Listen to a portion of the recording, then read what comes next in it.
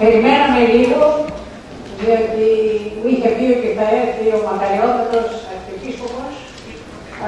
Νομίζω ότι από σεβασμό σε εσάς και βέβαια ότι θα δείξει το ίδιο κατανόηση πρέπει να αρχίσω να μην σας κρατάω.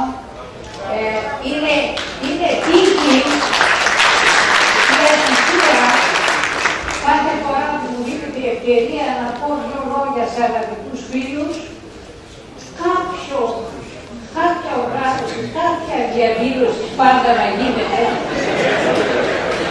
ίσως, ίσως διότι και εμένα με σκοπευτούν, αλλά σήμερα ήρθα και θα μιλήσω και είμαι ευγνώμων ότι είστε εδώ πέρα.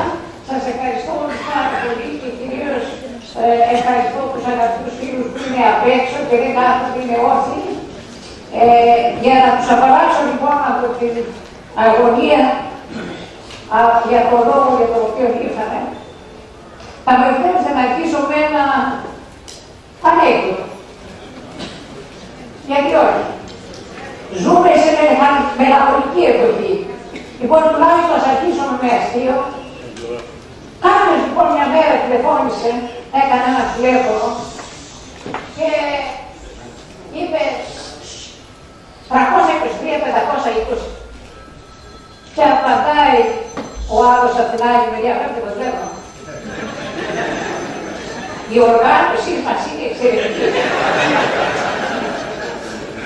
323-522 και το πατάει, δεν αφιλόκυνε, ούτε έναν αριθμό δεν πέτυχε σωστό.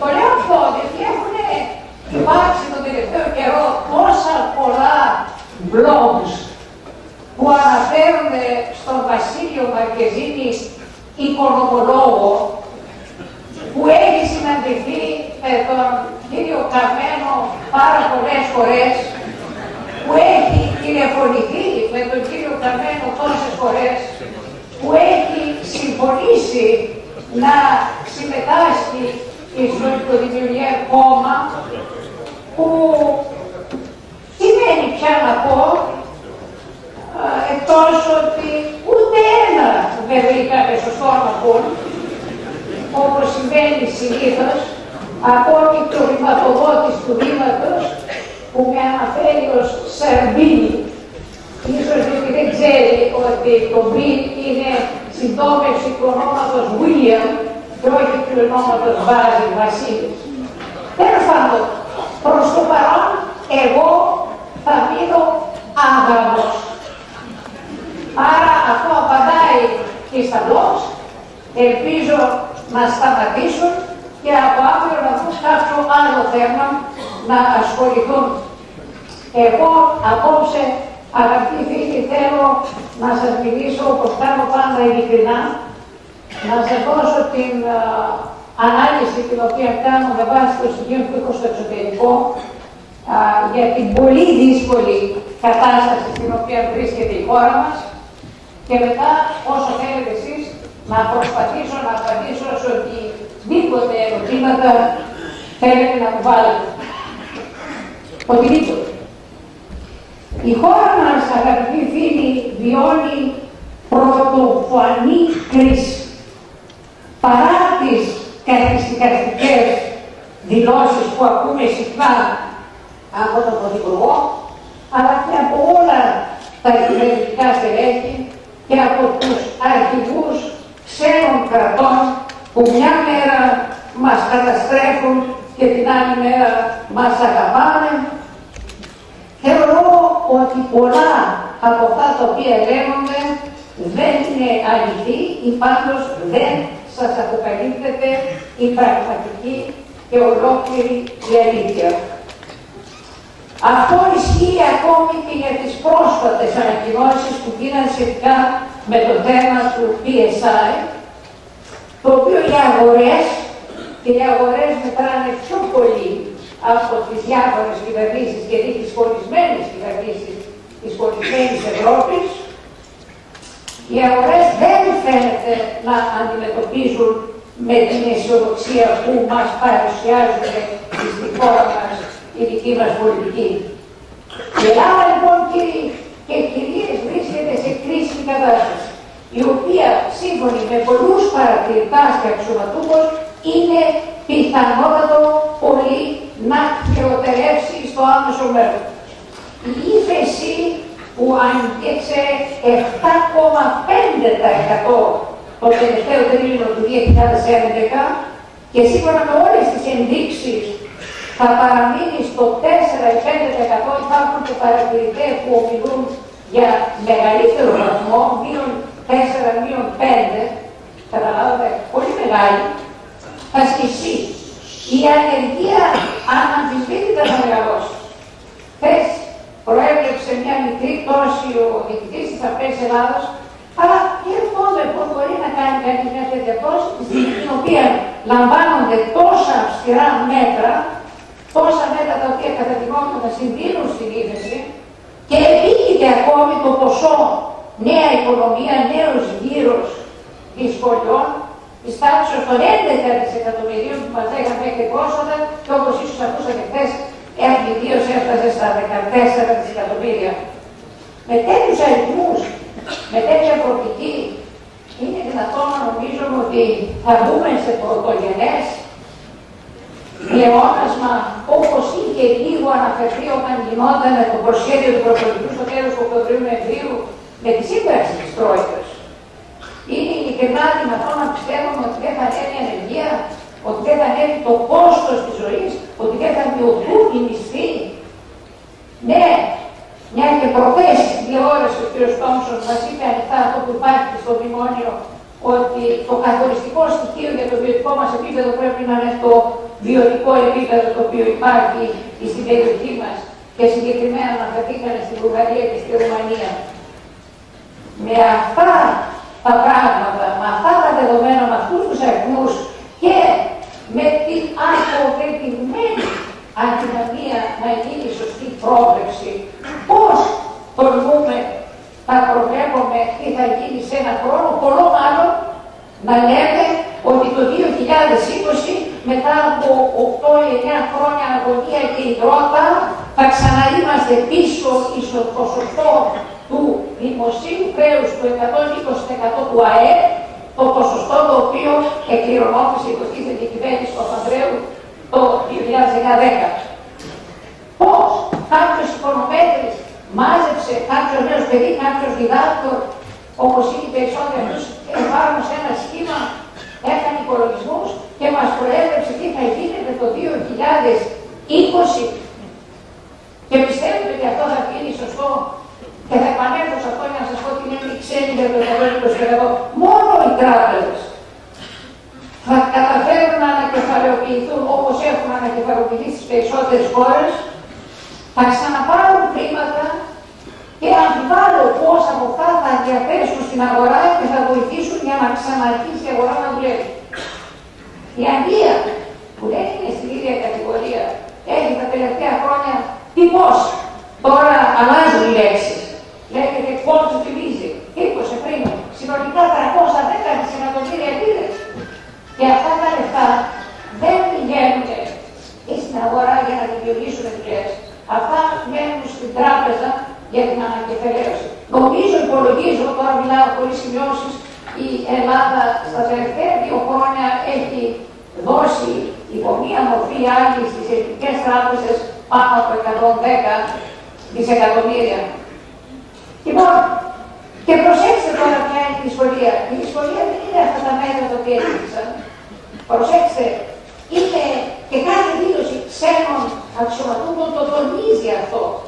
Είναι, θα μπορέσει η Ελλάδα να τηρήσει κατά γράμμα όλους τους όρους που τους έχουν επιβητεί που είναι εξαιρετικά οδυνηροί. Αυτό το τονίζουν.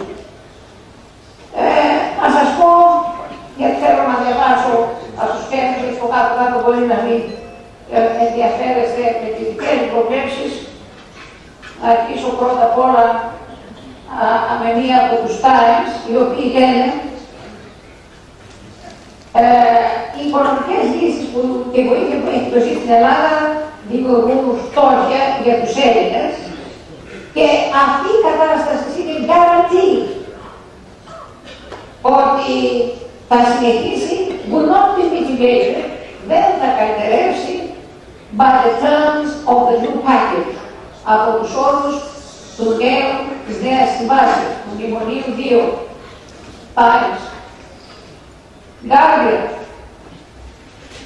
Θα διαβάζω πάλι προτανικά. Ε, few of the ministers and officials who slunk through the Brussels night Λίγοι από τους υπουργούς και τους αξιωματούχους που περάσαν όλο το βράδυ για να ετοιμάζουν το πακέτο στις Βρυξέλλες. Believe that it will ever come about that they have merely bought time for themselves. Ότι λίγοι πιστεύουν ότι θα πραγματοποιηθεί ο απότερος σκοπός και ότι το μόνο το οποίο πραγματικά επέτυχαν είναι να αποκτήσουν λίγο χρόνο οι ίδιοι και να προστατεύσουν οι ίδιοι τα συμφέροντά τους.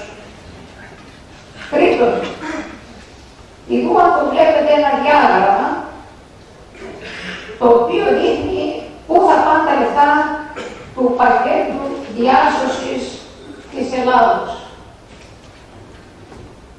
40% θα πάνε στις ξένες τράπεζες, το ΜΟ. Κόκκινο, 23% θα πάνε σε ελληνικές τράπεζες.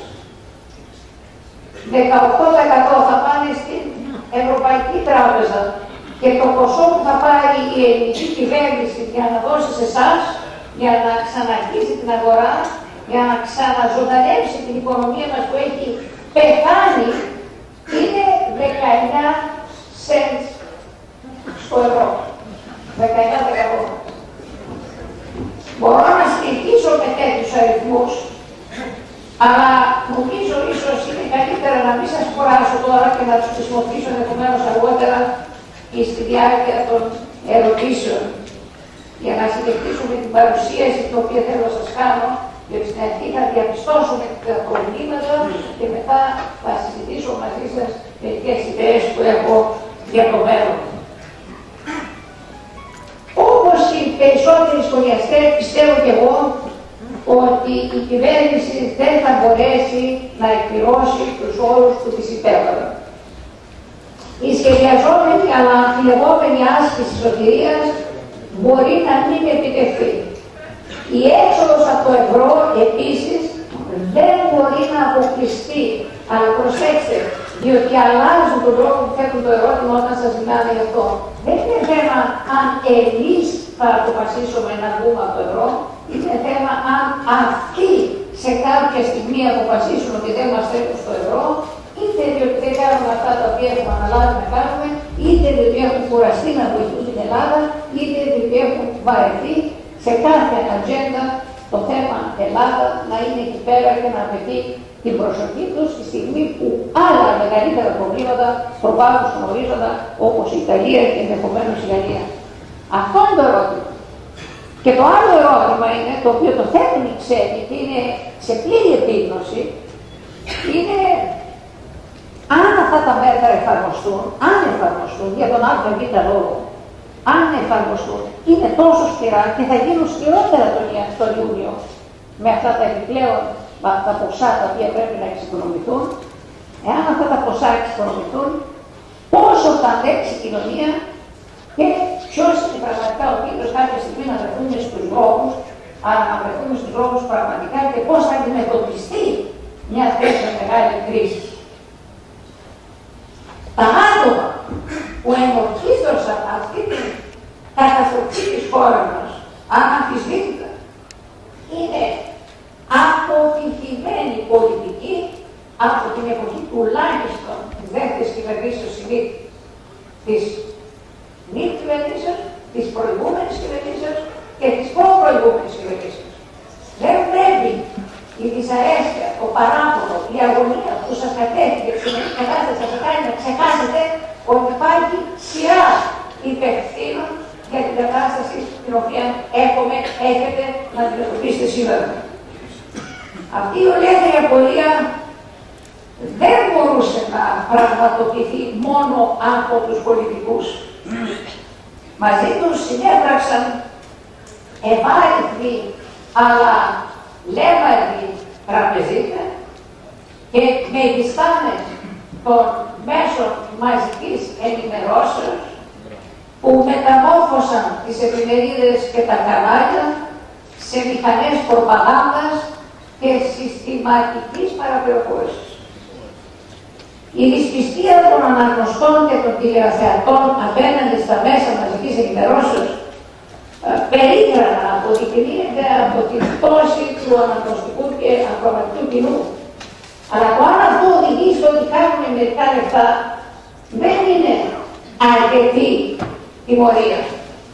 Οι περισσότεροι από αυτούς ζουν με το να πουλούν τις Κυριακέ DVD. Παλιά DVD και οι έμποροι παλαιών διδυτή τολμούν να επιζητούν τον ρόλο του καθοδηγητού σε θέματα ηθικής και πολιτικής δεοντολογίας. Εγώ αυτό δεν το δέχομαι. Έχω την εντύπωση, αυτό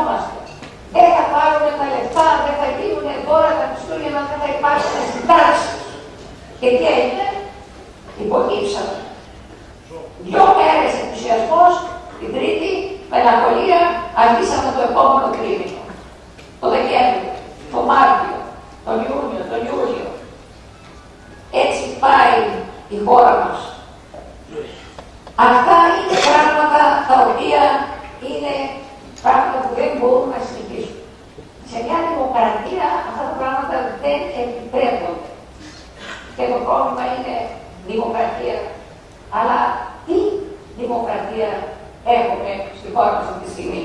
Η γνώμη μου είναι ότι η δημοκρατία βλέπει μόνο εμπέλη. Παραδείγματος χάρη, το δικαίωμα των δημοσίων διαδηλώσεων είναι αντικείμενο καθημερινής, κατά τη γνώμη μου, κατακτήσεως. Με αποτέλεσμα πολλοί, ιδίως στο κέντρο των Αθηνών, να χάνουν δουλειά, πολλοί να ενοχλούνται, να μην μπορούν να πάνε στη δουλειά τους. Το βλέπετε και απόψε. Είναι δημοκρατικό δικαίωμα, αλλά όταν γίνεται τόσο συχνά, δεν αποφέρει αποτέλεσμα, γιατί κατά τη γνώμη δεν έχει αποφέρει αποτέλεσμα, αποτελεί κατάρτιση. Αλλά μεγαλύτερη κατάρτιση είναι η κατάρτιση που γίνεται στον τρόπο που συμπιέζεται, καταστέλλεται το δικαίωμα της δημόσιας διαμαρτυρίας πολλές φορές με χρήση ανήκουστης βίας. Πάντως στα τελευταία χρόνια η χώρα μας δεν έχει δει τέτοια γεγονότα, τέτοιες εκτάσεις. Λοιπόν, βλέπετε ότι υπάρχει αυτό πρόβλημα ουσιαστικό που πάει στην βάση της ιδέας της δημοκρατίας, αλλά υπάρχει κι άλλο. Έλλειμμα και τιμωρία λέμε. Έλλειμμα μπορεί να υπάρχει, αλλά πού είναι η τιμωρία; Η Βουλή ή οι αλλεπάλληλες βουλές κατάφεραν να απαλλαγούν οι μεν να απαλλάξουν τους δε, οι δε να απαλλαγούν και να μην γίνει απολύτως τίποτα επικαλούμενοι και χρησιμοποιούνται με παλαιωμένους νόμους. Τώρα όμως εμφανίζεται και ένας τρίτος κίνδυνος που εμένα προσωπικά με στενοχωρεί πάρα πολύ. Είναι αυτή η αναδυόμενη συστηματική αναζωπήρωση υποδέα και ευρύτερη μορφή του αντιαριστερισμού. Αυτή η οργανωμένη αντιαριστερή μάχη. Δεν αναφέρομαι στην κυρία Βαρία και το Κομμουνιστικό Κόμμα, το οποίο δουλεύει με δικές του αρχές, με δικό του τρόπο, σχεδόν απομονωμένο σε ένα δικό του κόσμο, πάντω για μένα επαγγελμένο κόσμο. Αλλά υπάρχει ένα μεγάλο άλλο μέρο του κόσμου που είναι φιλελεύθερη, αν θέλετε, προελεύσεω, για το οποίο γίνεται η συστηματική προσπάθεια αυτή τη στιγμή να τεθεί στο περιθώριο, αντί να δείξουμε τη φαντασία που χρειαζόμασταν και να προσπαθήσουμε να τους ενσωματώσουμε και αυτούς μέσα στο δημοκρατικό παιχνίδι. Είναι πλεονέκτημα να τους φέρουμε όλους μέσα στη δημοκρατίας, να εργάζονται μέσα στα δημοκρατικά πλαίσια, παρά να αρχίσουμε μάγες, κινητά και διοικήσεις του είδους που θέλουν μαζί τους τον κίνδυνο, σοβαρό κίνδυνο, να ξανααναβιώσουμε τον πολισμό, τις πηγές του εμφυλίου πολέμου. Τα αστικά κόμματα και οι εφημερίδες που προκαλούν και θα προκαλέσουν αυτό το κίνημα κατά την γνώμη μου, κάνουν λάθος. Μπορεί ενδεχομένως μια τέτοια κίνηση να έχει ορισμένα κομματικά συμφέροντα, πρόσκαιρα.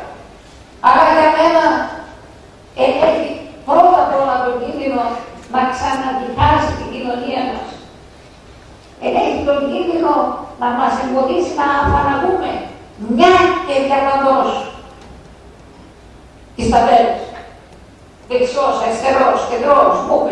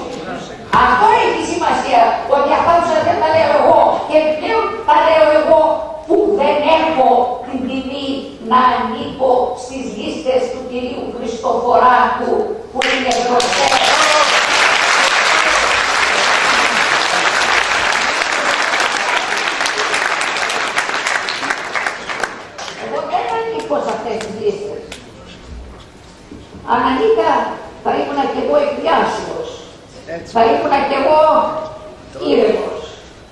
Αλλά δεν είμαι. Διότι αγανατώ. Διότι συμπάσχω μαζί σας. Έστω κι αν, όπως θα σας πω αμέσως, θεωρώ ότι και η άλλη πλευρά, το κέντρο και η αριστερά, έχει κάνει και αυτή τα λάθη της. Γι' αυτό λέω, ας τα δούμε μια και διαπαντός και να εκδηλήσουμε τη σελίδα και να ενωθούμε όλοι μαζί. Δεύτερο ερώτημα. Όπως βλέπετε.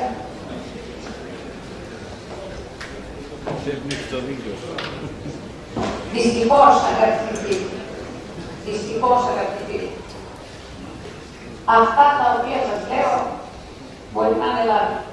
Πολλές φορές είναι λάθη. Πάρα πολλές φορές κάνω λάθη. Αλλά αυτά που σας λέω τα πιστεύω. Και ό,τι λέω το πιστεύω και ό,τι πιστεύω το λέω. Και γι' αυτό σας λέω ότι γίνεται αυτή η υπερβολική ενεργητικότητα στην παρουσίαση αυτών των ιδεών πρωτού πάμε στην κατασκευή νέων ιδεών και του νέου κόσμου. Η αριστερά έχει κάνει και αυτά.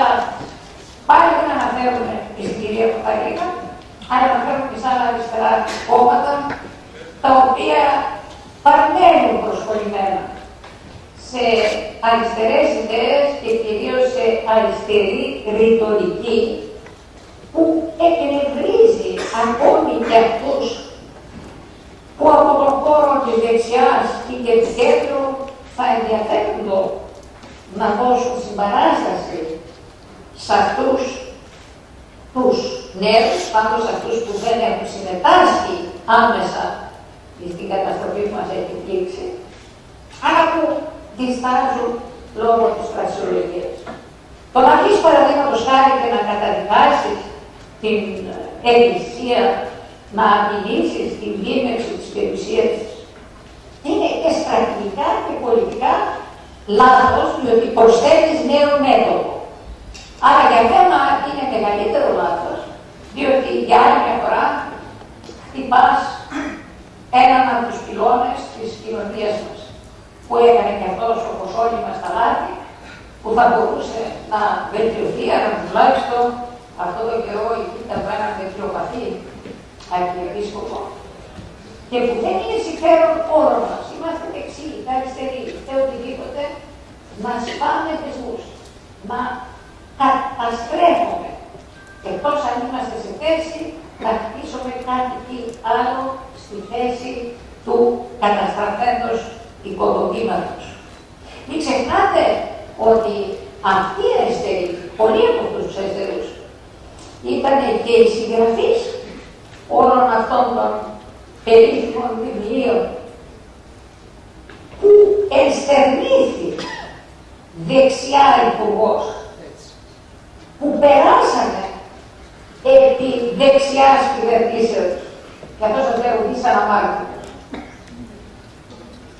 Βιβλία που μας είπαν στον χώρο του Ζαλόμου τις γυναίκες τις πρόξανε και δεν γύρισαν.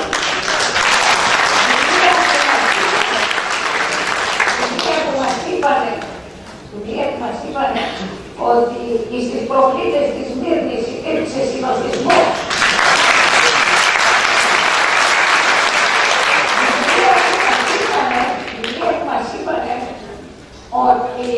το κρυφό σχολείο δεν υπήρξε ποτέ. Και πρόσφατα, ίσως είδατε, υπήρξαν κείμενο φιλικής επιθέσεως, ευγενούς επιθέσεως, άμολου επιθέσεως, το αφήνω σε εσάς να διαλέξετε. Όταν ο ερωτών του δημοσιογράφος μου είπε, πώς μιλάνε για ελληνικά σχολεία. Δεν υπάρχει καμία ιστορική ένδειξη ότι υπήρχαν Μα αν είχε διαβάσει το βιβλίο του πατέρα του, ο ερωτών δημοσιογράφο, θα είχε δει πώ ο πατέρας του περιέγραφε τις ταλαιπωρίε που πέρασε ο παππούς του για να πάει στο ελληνικό σχολείο. Και το νέο βιβλίο που πληροφορείται τώρα, δηλαδή Σεπτέμβριο-Αύγουστο, το οποίο με προλόγησα, 120 σελίδες, το κρυφό σχολείο, έχει 120 σελίδες. Έχει 413 υποσημειώσεις από πρέσβους, από διπλωματικούς, από τον Πάπα, από πατριάρχες, από επισκόπους, από τον 12ο, 13ο, 14ο, 15ο, 16ο, 17ο, 18ο αιώνα. Της Βυζαντικής ιστορίας, που όλες 413 λένε τι έγινε. Κοιτάξτε, όσο και να σας φανεί περίεργο, εγώ θέλω και μετά από την οικογένεια που πάντα διαχείρισες στις πιο μαύρες στιγμές ελληνικών σχέσεων, θέλω φιλία του Κύριου. Αλλά θέλω φιλία του Κύριου, όχι διαπραγματεύσεις με τον πιστόλι στον πρώτο. Θέλω φιλία που βασίζεται σε συνδυασμό, που βασίζεται στις αρχές του διεθνούς δικαίου. Όχι φιλία που ξεκινάει με παράδοση πριν αρχίσει καν να διεξάγεται τη διαπραγμάτευση. Δεν θέλω να βγαίνουν οργανώσεις όπως το ΙΑΜΕ και να μου λένε ότι δεν υπάρχει πετρέλαιο στην περιοχή της Κρήτης και της Κύπρου. Το τελευταίο επίσημο κείμενο του ΙΑΜΕ ήταν Οκτώβριο του 2011 και βέβαια ήταν γραμμένο προσεκτικά. Αλλά αυτοί που μιλάνε ότι υπάρχει πετρέλαιο να μην τα υπερβάλλουν, αυτοί, αυτοί, αυτοί, ειδικός, έτσι, ο βασιλικός, ο ειδικός, εγώ αυτοί, ε, να μην κρατάνε μεγάλο καλάθι. Γιατί δεν ξέρω, ένας άλλος ενδιαφέρει προπυλών με έπεισε και λέει, μα αν υπήρχε πετρέλαιο, λέει, θα το ξέραμε. Όλες οι εταιρείες θα ήταν εκεί πέρα και θα ζητούσαν να στέψουν. μα απαντώμε ναι. ότι προσπάθεια που μας γράψαν οι εφημερίδε, που έκαναν τις μεγαλύτερε πετρελαϊκέ εταιρείες, έχουν φτάσει εκεί πέρα. Κάνω λάθος αν πιστεύω ότι εμέσως και κακώς διάφοροι ελληνικοί κύκλοι προσπαθούν πάντα να τρομάξουν να διώξουν, να αποφύγουν, να παραμελήσουν τις ρωσικές εταιρείες όπως την Gazprom που έχουμε συμφέρον να φέρουμε και να δώσουμε υπόπεδο. Εγώ το έχω γράψει. Τα υπόπεδα της Κρήτης που είναι τουλάχιστον τα δικά μας νερά, χωρίς να δέρουμε στις λεπτομέρειες του Καστεβόριζου, αναμφίβολα. Να το χωρίσουμε και να δώσουμε και στους Αμερικανούς, αναμφίβολα, και στους Ρώσους, αναγκαία, και στους Γάλλους, την Ελφαγητέ, και στους Άγγλους, διότι όσο πιο πολλά δίδονται, τόσο πιο ασφαλής γινόμεθα. Σας λέω ότι αυτή τη στιγμή συζητείτε και θα γίνει, αλλά μετά από δύο χρόνια προσπάθεια για μια εξαιρετικά ικανή καναδική εταιρεία να πάει αυτή και να πολλές από αυτές τις εταιρείες είναι έτοιμες να πάνε και να αναλάβουν το κόστος των σεισμικών πειραμάτων. Γιατί είναι βέβαιο ότι υπάρχει κλίμα εκεί πέρα. Είναι βέβαιο ότι υπάρχει κοίτασμα εκεί πέρα. Και όμως, όταν μας εδόθηκε το 2006 η ευκαιρία να διαπραγματευτούμε την Αίγυπτο, όταν η Αίγυπτος ανεγνώριζε το Καστελόριζο που μας έφτασε, η τότε υπουργός τον έθεσε στον Υφυπουργό, κάτι συζητήσει αρχίσανε και οποιοδήποτε έμαθε για ποιο λόγο σταματήσαμε. Χάσαμε την ευκαιρία. Τώρα η Αίγυπτος, παρόλο που ακούω ο νυν υπουργός στο εξωτερικό προσπαθεί και μπράβο να το καταφέρει, να ξαναρχίσει συζητήσει με τους Αιγυπτίου και τους Λιβύους, αλλά από ό,τι ακούω μέχρι στιγμής οι Αιγύπτιοι τάσσονται πιο πολύ με το μέρος των Τούρκων παρά με το μέρος της Ελλάδα. Χάρη την δικιά μας ευκαιρία. Ξέρετε τι ποσότητες μιλάμε. Στα δύο μεγάλα ε, υπόπεδα, στο Λεριάνα και στην Ανατολή, μιλάμε για 930 3 εκατομμύρια κυβικά μέτρα αερίου και γαζιού και γαλαζάτων. Και δυνατόν δηλαδή να είμαστε ανεξάρτητοι για δεν ξέρω πόσα χρόνια, όπως θα είναι σύντομα οι Κύπροι. Και αυτό το σταματήσαμε εμείς ή το σταματήσαμε υπό την πίεση φίλων. Θέλω φίλους, θέλω πολλούς φίλους. Πάντα το λέω, θέλω πολυγαμικές σχέσεις. Όσο πιο πολλές σχέσεις, δηλαδή, συμπληρώνω για να μην επαρεξηγήσω, όσο πιο πολλές σχέσεις έχω, τόσο καλύτερα για την χώρα. Αλλά δεν το έχουμε κάνει.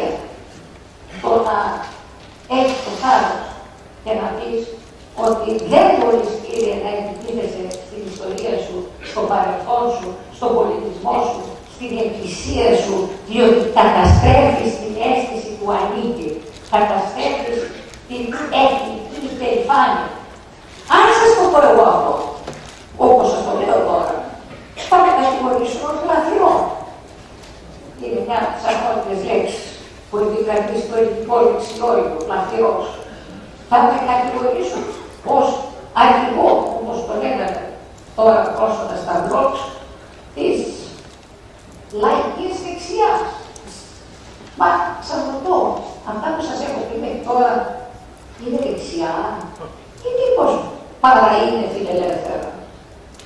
Τέλος πάντων τι είμαι. δεξιός, αριστερός, κεντρός ή εκλεκτικός. Ό,τι βολεύει στη χώρα μου, αυτό θα σας λέω. Γιατί είναι καλός και χώρα.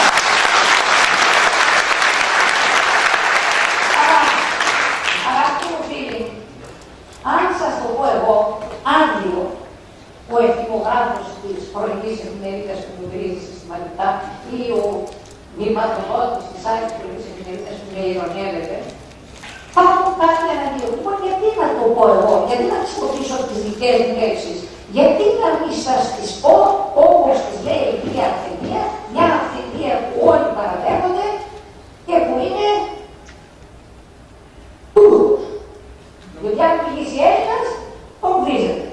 Αν μιλήσει τούτος, είτε τον βλέπετε στο, στην τηλεόραση, είτε α, τότε ο Δαβούτο. Λοιπόν, για να πούμε τίποτα από το διότι αυτός κάνει το σωστό πράγμα. Αυτός δεν καταστρέφει το παρελθόν του, αυτός χτίζει το παρελθόν του, αυτός οροποιεί το παρελθόν του, αυτός χρησιμοποιεί το παρελθόν του και αφήνει εμάς κατόπιν των συμφωνιών από τα οποία να γράψουμε βιβλία όπου καταστρέφουμε το παρελθόν μας. Είδου τι λέει ο κ. Δαβούλου. Οι κοινωνίες που έχουν στερεές δομές και κατέχουν μια πολύ ισχυρή αίσθηση του ανήκει και της ταυτότητός του που οφείλεται στην κοινή αντίληψη του χρόνου και του πόρου και μπορούν με αυτή την αίσθηση να κινητοποιήσουν τα ψυχολογικά, κοινωνιολογικά, πολιτικά και οικονομικά στοιχεία έχουν τη δυνατότητα να πραγματοποιούν στρατηγικά ανοίγματα και να ανανεώνονται συνεχώς. Αντιθέτως, οι κοινωνίες που ζουν μια κρίση ταυτότητος και την μετατρέπουν σε μια καταστροφή πολιτισμού του δικού τους, περιέρχονται σε ένα στρατηγικό αδιέξοδο παραπονμένες στη δίνη ψυχολογικών, κοινωνικών, πολιτικών και οικονομικών διακυμάνσεων.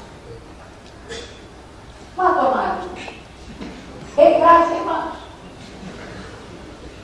Μα τον ζηλεύω. Άλλο ένα από τα πολλά πράγματα τα οποία κάνω όταν μιλάω και πολλές φορές τα εξηγούμε. Η θητεία μου για τον Α ή την Β, είτε χώρα είτε άνθρωπο, διακινήσω δύο.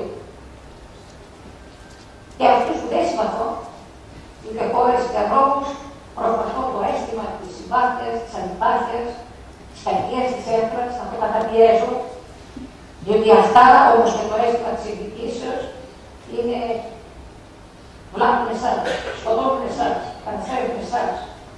Πρέπει να χτίζεις με φιλία, με ανοιχτό μυαλό. Αλλά άμα βλέπω ότι οι ηγέτες, και οι ηγέτες δεν είναι σημαντικό, οι πρόεδρος του κρατήρους, οι ηγέτες κάτι ξεχωριστό, βρίσκονται στον κύριο Πούτιν, οι ηγέτες, αλλά διαφωνεί. Και εγώ διαφωνώ. Αν και δεν πολλά στοιχεία με τα οποία διαφωνεί και την άκρη και την πολιτική, είναι ηγέτης όμως. Είναι δυνατόν. Είναι μια χώρα τερισμένη το 1999 και την έκανε αυτό που είναι. Μια χώρα που είχε κατακεφαλής σώμα 600 δολάρια και τώρα έχει 16.000 Και ο κύριος Ερντογάν. Έχω λόγο να το συμφωνώ. Καθόλου. Συμφωνώ με την Κωστή, καθόλου. Συμφωνώ με τον κύριο Δαγούτο πολιτικά, καθόλου. Μα καθόλου. Και το έχω πει. Αλλά κοιτάξτε παιδιά μου αρέσουν πράγματα σαν και αυτά που με πείτουν, λέω γιατί να είναι από εκεί. Και αν το πω εγώ εδώ, εάν πω στον Έλληνα, τον πατριώτη μου, την πατριώτησά μου, και σκοπέ παιδιά, έρχομαι τους αρχαίους, το Βυζάντιο, διαβάστε το βιβλίο του, του, ε, σταμάτησε το καιρό, του Σπύρου, του, του Βριώνη, ευχαριστώ πολύ, εδώ θα το πω τώρα και πρόσφατα σε, σε paperback, να δείτε τι είναι ένα βιβλίο γεμάτο επισημειώσεις, γεμάτο γλώσσα, να κάνει περήφανο. Και το καταστρέφεις αυτό. Και σε αυτό δεν έπαιξε ρόλο η αριστερά. Και σε αυτό δεν έπαιξε ρόλο όχι μόνο η αριστερά. Αλλά οι νεοτεριστές του Πασό ή και της δεξιάς, είτε λέγονται κυρία, είτε λέγονται Κώστας, τέλος Έχουμε κάνει λάθος όλες τις κατευθύνσεις. Πρέπει να προχωρήσουμε σε κάτι τέτοιο. Και η θεραπεία την οποία προτείνω και αύριο θα του παντού σταυρό, γραμμένη στην οποία είναι ότι χρειαζόμαστε μία κοινωνική συμβίωση. Όλοι μας και όλοι σας τελευταίο καιρό μιλάτε για πολιτική συμβίωση των κομμάτων. Αυτή η πολιτική συμβίωση είναι μια οπορτουνιστική πρόσκαιρη συνεργασία πολιτικών που δεν έχουν τίποτα το κοινό μεταξύ τους μόνο και μόνο για να κάτσουν όλοι σε καρέλες.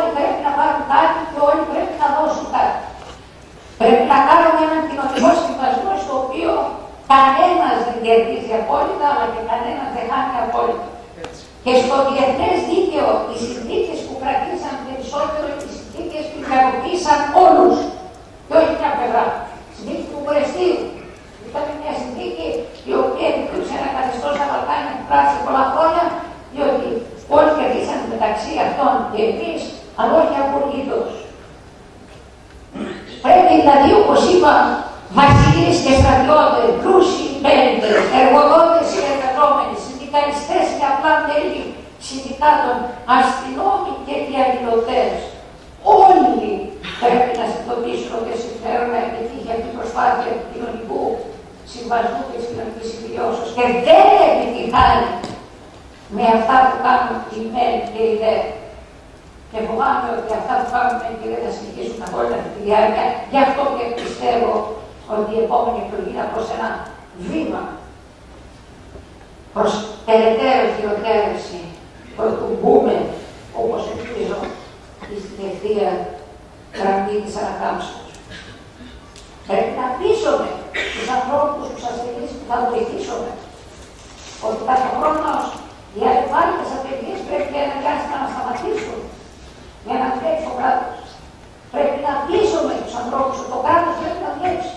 Πρέπει να πείσουμε τους δημοσίους υπαλλήλους ότι πρέπει να δουλέψουν.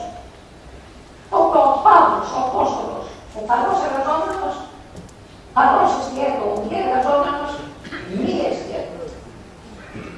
Πρέπει να βρούμε μια ισορροπία και στο κοινωνικό τομέα και στον οικονομικό τομέα. Πρέπει να αφήσουμε τα συνδικάτα να δουλέψουν για τα εργατικά τους, τους εργατικούς τους σκοπούς. Απειλαγμένα όμως κομματικών πολιτικών επεμβάσεων και διορισμών. Πρέπει να περάσουμε μια περίοδο ηρεμίας για να δώσουμε τουλάχιστον την ελπίδα ότι θα πετύχουν αυτά τα μέτρα αντί να συνεχίσω με τον τρόπο που βλέπουμε τώρα και κατασταθούμε. Κρίνει, θα μου πείτε με αυτόν τον τρόπο η τρύπα των εσόδων, όχι. Είτε είμαστε μέσα στη γραφή, είτε είμαστε έξω από τη γραφή, είτε κάνουμε αυτά που σας λέω εγώ, είτε δεν κάνουμε αυτά που σας λέω. Η αναδόμηση του κράτους, η οργάνωση του κράτους και η αριθμιστική μείωση ορισμένων τομέων του κράτους πρέπει να γίνει, θα γίνει. Το θέμα είναι, θα το κάνουμε εμείς μελετημένα ή θα γίνει ανοργάνωτα και με κοινωνικές συγκρούσεις. Η αλήθεια πάει και στη μέση. Μην νομίζετε, είτε πάτε στην γραφή είτε αλλιώς, ότι θα αποκτήσουμε τέτοια ελευθερία και να απαλλαγούμε ορισμένων δεσμεύσεων, ορισμένων που πρόσωπων δεν επιλήθησαν και που μας επευλήθησαν διότι για χρόνια εμείς οι ίδιοι μόνοι μας ξοδεύαμε παραπάνω από την κερδίδα. Έρχεται η στιγμή που όλα πληρώνονται σε αυτή τη ζωή. Και αυτό είναι ένα από αυτά τα οποία πληρώνω τώρα. Προσπαθώ να είμαι αριθμητικό. Προσπαθώ να σας δώσω όλες τις στιγμέ όπως τι βλέπω και να τις εξορροπήσω. Όπως σας είπα, δείχνοντα ευαισθησία στον αδύνατο, αλλά και ενδιαφέρον στον δυνατό, τον πραγματικό δυνατό, επαναλαμβάνω, γιατί χρησιμοποίησα έτσι ο όποιος θα μπορέσει να κάνει επένδυση, θα επανέλθει από αυτού. Το δεύτερο σημείο είπα το εξωτερικό. Άνοιξα το όρος, δεν θα επανέλθω, αλλά με μια παρατήρηση. Η παρατήρηση είναι ότι η συζήτηση άρχισε από άλλους συναδέλφους για το όρος των πολλών ετών, την έφερα εγώ στη δημοσιότητα μέσω τηλεοπτικών συνεντεύξεων, αλλά τώρα τα περιαγώς άρθρα επαναλαμβάνονται με μονοφωνία και στοχεύουν την ανάλυση της Συμφωνίας του Τζαβέλη του Τζαβέλα του 1982 που εκπληρώθηκε το 1994 για το αρκετά. Το θέμα τώρα πρέπει να γίνει πολιτικό. Το θέμα τώρα πρέπει να μετασταθεί σε θέμα πολιτικής βουλήσεως. Και προσέξτε, νέα προσθήκη, νέα ιδέα. Δεν επαναλαμβάνω αυτά που θα πει. Το θέμα τώρα πρέπει να βασιστεί στην ερμηνεία της συνθήκης που έχει δοθεί από 14 συν αποφάσεις του δικαστηρίου της Χάρης. Διότι δεν μιλάμε πια για τη συμφωνία. Μιλάμε για το περιεχόμενο της συμφωνίας όπως έχει διαμορφωθεί από την ομολογία του δικαστηρίου της Χάρης. Αυτή θα αποφασίσει ποια είναι το Και θα δείτε ότι αυτή θα αποφασίσει όχι μόνο ότι έχουμε σε πολλά δικαιώματα, αλλά ότι σε ειδικέ περιπτώσεις θα χρειαστεί και εμείς να έχουμε το θάρρος να κάνουμε συμβασμό. Αλλά σας είπα, συμβασμός που είναι εύλογος και στηρίζεται στο δίκαιο διαφέρει από παράδοση η οποία αρχίζει από την αρχή προτού καλά-καλά μιλήσει κανείς. Αλλά και πάλι η αλήθεια σε αυτό το θέμα που με έχει απασχολήσει τόσο πολύ στη ζωή μου, επανέρχομαι και σας λέω, η αλήθεια βρίσκεται στη μέση πρέπει να είμαστε έτοιμοι ψυχολογικά και νομικά για να αντιμετωπίσουμε την κατάσταση. Αλλά ξέρετε κάτι, ε, όλα αυτά προποθέτουν ότι πρέπει να ληφθεί μια απόφασης για το μέλλον μας σε μια πάρα πολύ δύσκολη στιγμή της ιστορίας μας. Αλλά θα μίλησα για τα δημοκρατικά δικαιώματα τα οποία έχουμε και πόσο είτε έχουν εκτιμηθεί, είτε έχουν μειωθεί, είτε έχουν αλλοιωθεί. Το μόνο δικαίωμα που έχει, το μόνο δικαίωμα που έχει, το έχετε κάθε δύο-τρία χρόνια και κρατάει μια μέρα. Θα το ασκήσετε στις 29 Απριλίου και θα το ξαναχάσετε και τα επόμενα δύο-τρία χρόνια εκείνο το βράδυ. Έχετε τεράστια ευθύνη προς τον εαυτό σας, προς τα παιδιά σας και προς την πατρίδα σας. Να το ασκήσετε σωστά. Να μην το ασκήσετε βάσει εκβιασμών και παραπλανήσεων και παραπληροφοριών που θα διανεμηθούν μεταξύ τώρα και της 29ης. Να το ασκήσετε κατά τρόπο που θα επιτρέψει να ψηφίσει ό,τι πιστεύει. Πασό, Δημοκρατία, Κουβέλη, Τσίπρα, ε, Καμένος, ε, δεν ξέρω, ό,τι θέλει. Αλλά μαύρο δάγκωτο σε υπουργού που παίξαν ρόλο ουσιαστικό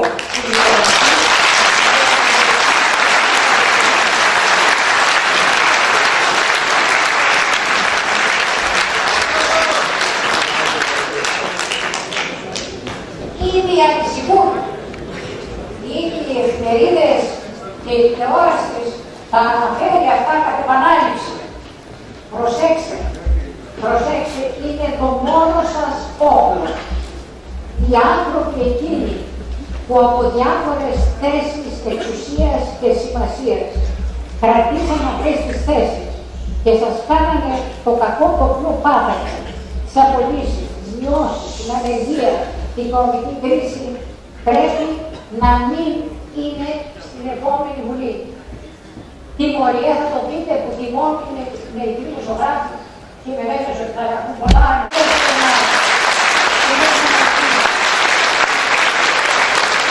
Είστε 500-600 άνθρωποι συγκεντρωμένοι σήμερα εδώ πέρα. Σε εσά πέφτει αυτός ο βαρύτατος ρόλος. Εσείς γιατί οι εφημερίδες αυτά δεν θα τα επαναλάβουν, θα τα επαναλάβουν, θα τα δυσκριτήσουν. Εμβασιζόμεθα στα blogs και σε εσάς στις επόμενες 40-50 μέρες να αγωνιστείτε για κάτι που αποτελεί την αποθέωση του δημοκρατικού σας δικαιώματος. Να ψηφίσετε και να διαλέξετε για μια νέα αρχή. Φίλοι μου, θέλω να τελειώσω με δύο ιδέες. Η πρώτη είναι ότι πίσω από όλη αυτή την ομιλία είναι η αγάπη μου για την ισορροπία, για τον μέτρο, να πω το μέτρο και το δε, να αποφύγω το ένα άνθρωπο και το άλλο άνθρωπο. Δεν μ' αρέσουν δεν μ' αρέσουν οι κρίσεις, δεν μ' αρέσουν οι εντάσεις του είδους που καλλιεργούνται αυτή τη στιγμή για να σας αναγκάσουν να ψηφίσετε τον άλλο ή τρόπο. Η ιστορία το δείχνει. Η θρησκευτική πόλεμη τη Γαλλία στον 15ο αιώνα, η Γαλλική Επανάσταση, η Ρωσική Επανάσταση, ο ελληνικός εμφύλιο πόλεμος. Πόση μιζέρια για πόσου πολλούς. Το θυμάμαι ω μικρός. Δεν είναι μόνο μακρό. Δεν είναι μόνο ο Άγιος Αστράτιο. Είναι και το πιστοποιητικό κοινό των φρονημάτων.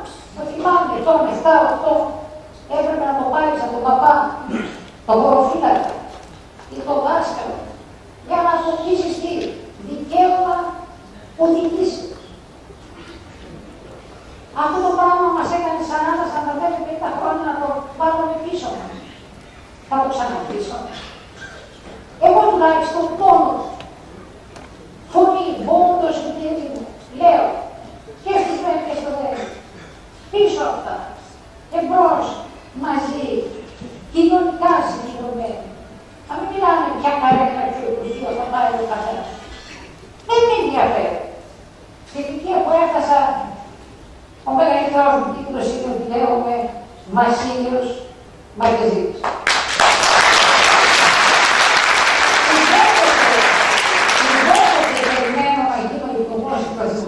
Ούτε το θέλω, αλλά αν γινόταν το πρόσωπο μου θα έλεγα να με λέτε κύριε Μαρκεζίτη και όχι κύριε Υπουργέ. Δεν είναι τίτλος να με λέτε κύριε Υπουργέ. Βασίλη ή Βασίλη Μαρκεζίνη. Δεύτερον, εκείνο που θέλω να καταλάβετε είναι ότι φταίνε όλοι. Γι' αυτό θέλω να τα ξεχάσουμε και να προχωρήσουμε ναι. Γι' αυτό θέλω να κάνουμε ένα νέο ξεκίνημα χωρίς να έχουμε τους παλιούς, τα λεγόμενα βαρύδια. Γι' αυτό θέλω να επιδιώξουμε κάποιον φιλικό συμβασμό μέσα στα πλαίσια του δικαίου και την Τουρκία, αλλά κατόπιν σωστής διαπραγματεύσεως και με την πολιτικά νέων ξένων σημάτων. Όχι σαν αντικατάσταση των παλαιών. Και γι' αυτό με έχουμε πει, αντιαμερικανό, δεν είναι, 35 χρόνια δουλεύω στην Αμερική. Με έχουν πει αντιευρωπαίο. Μα έχουν δουλέψει αναδειχθεί και λυθεί από όλες. Εγώ αντιευρωπαίος. Αλλά τους θέλω όλους και θέλω και τους καινούριους, μια και υπάρχει πάρα πολλές φορές δεν στάθηκαν κοντά μας. Πρέπει να τελειώσω με μια παρατήρηση που είναι προφανής και το ξέρω. Όποιος παίζει το ρόλο του ειρηνοποιού, μπορεί να είναι μακάριος, όπως είπε ο Κύριος, αλλά είναι όμως μοναχικός. Σήμερα ήρθα κυρίως για να μιλήσω στους φίλους των Facebook. Πρόσφατα κάλυψα ότι υπάρχουν τρία Facebook στα οποία ασχολούνται με τα βιβλία μου και με αυτά που γράφω. Δεν το ήξερα, δεν είχα καιρό να ασχοληθούμε με αυτά. Αλλά ακόμα θα ήθελα να τις γνωρίσω, να τις γνωρίσω. Θα ήθελα μετά τις ερωτήσεις να κάτσω 10 λεπτά μόνο και μόνο για να σφίξω το χέρι μερικών φίλων που δείχνουν σε αυτή την κατηγορία.